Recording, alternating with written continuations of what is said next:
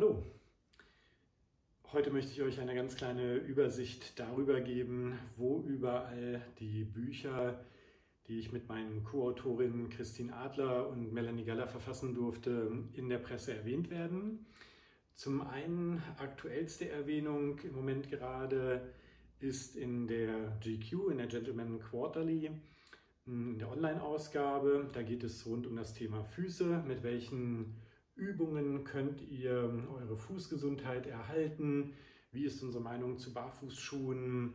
Und was kann man eigentlich alles machen, damit die Füße gesund bleiben? Auch einen Artikel zum Thema Füße findet ihr beim Podologie-Magazin unter podologie.de. Auch darüber habe ich mich sehr gefreut. Auch ein sehr nettes Interview mit den Kolleginnen und Kollegen dort von diesem Magazin.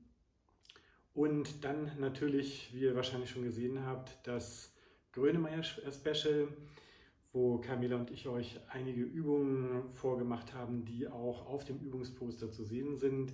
Also das sind im Moment so die drei aktuellen Presseerwähnungen, über die wir uns unheimlich freuen.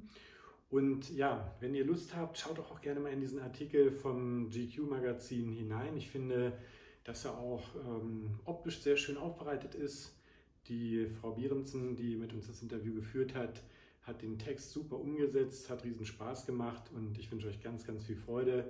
Schaut mal auf die Internetseite, gibt es noch ein paar andere schöne Sachen wie Tipps zum Thema Mode, Schönheit etc., tolle Uhren und so weiter, aber eben auch ganz wichtig, gesunde Füße.